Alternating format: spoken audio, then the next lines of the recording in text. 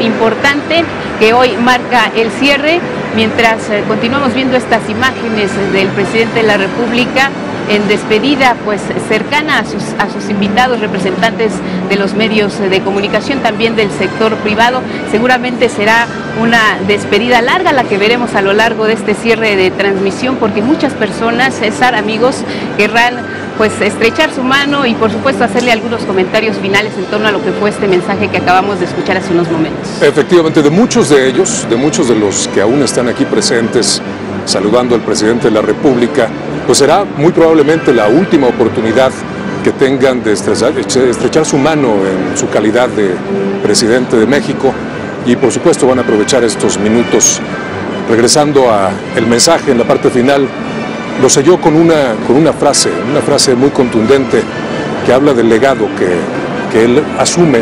que trabajó y que deja a la siguiente administración. Dijo, dejamos un mejor país que hace seis años. Esta es una frase pues muy relevante dentro de las emociones, ya se veía en ese momento eh, conmovido el presidente, hubo lágrimas entre la audiencia, principalmente en su familia, pero fue muy enfático también al principio, ¿eh? Refirió los hechos y las cifras como la base con las cuales se da cuenta de una transformación, dijo, profunda en múltiples ámbitos de la vida nacional. Ahí siguen los saludos,